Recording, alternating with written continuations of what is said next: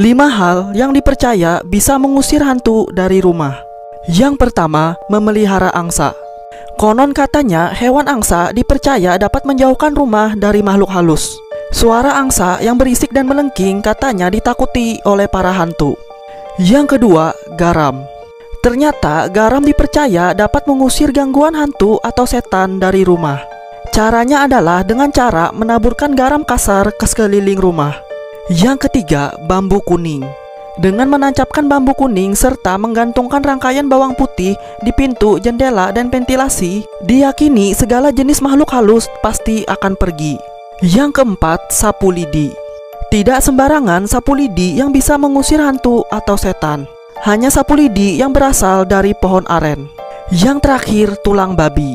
Tulang babi juga dipercaya dapat menangkal santet, ilmu gaib, dan membersihkan rumah dari gangguan makhluk halus.